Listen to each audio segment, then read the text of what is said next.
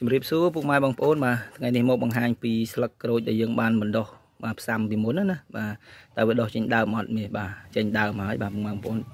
វាដុះចេញដើមបានធំមែនតើបាទអញ្ចឹងយើងទៅរកកន្លែងណាថតឲ្យពុកម៉ែបងប្អូនបានទស្សនាឃើញច្បាស់បាទ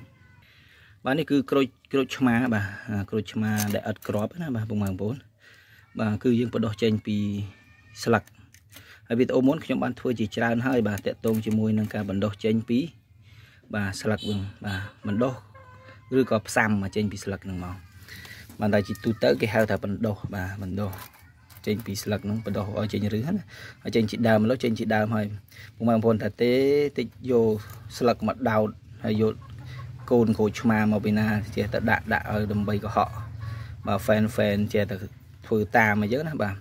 ចឹងអាចឆែកមើលវីដេអូខ្ញុំមុនមុនបានខ្ញុំបដោះពីក្នុងទឹកក៏មាននៅក្នុងដីក៏មានដែរបាទគឺដោះរឹសមែនបាទត្រឹមតែ50ទៅ65ថ្ងៃហ្នឹងគឺដោះរឹសច្រើនមែនតើបាទអាចឆែកវីដេអូមុនមុនបានអញ្ចឹងយើងអត់និយាយសារក្រោយទៀតទេបាទគឺយើងនិយាយពីស្លឹកក្រូចដែលយើងបានបណ្ដោះពីមុនហ្នឹងគឺបាទ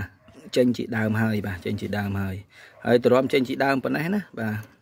គឺយើងប្រើប្រាស់រយៈពេលប្រហែលជា5ខែបាទអត់មានលេងសើចទេគឺ5ខែពេញបាទ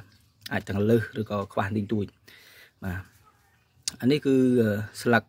ចេញពីធៀងក្រូចបាទស្លឹកក្រូចនេះមកគឺយើងបដោះនឹងបានពិតប្រកបមែនប៉ុន្តែជាវិធីសាស្ត្របាទពុកម៉ែបងប្អូនពុំគួរបាទពុំគួរបណ្ដោះចេញពីស្លឹកនេះទេដោយសារអីបាទមូលហេតុទី1 គឺដោយសារតែវាប្រើប្រាស់រយៈពេលយូរពេកបាទយូរពេកទី2គឺវាពុំងាយបាទពុំងាយដោះទេបាទការលេងណាយើងបដោះចេញស្លឹកអញ្ចេះបើយើងអត់មានបច្ចេកទេសក្នុងការទុកដាក់ទេ គឺស្លឹកខ្លះក៏ដុះស្លឹកខ្លះក៏អត់អញ្ចឹងទៅប៉ុន្តែវាល្អមួយថងថាបើសិនជាពុកម៉ែបងប្អូនចង់លួចពូជពីគេបាទលួចពូជពីគេគេសុំអត់ឲ្យអញ្ចឹងណា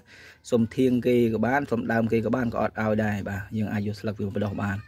វាមិនដែលណាកំណាញ់ដល់ថ្នាក់ដែលធៀងមកធៀងមកឲ្យបាទសុំស្លឹកអីមកធៀងពីស្លឹកមកមកឲ្យគឺវិធីហ្នឹងគឺយើងត្រូវការ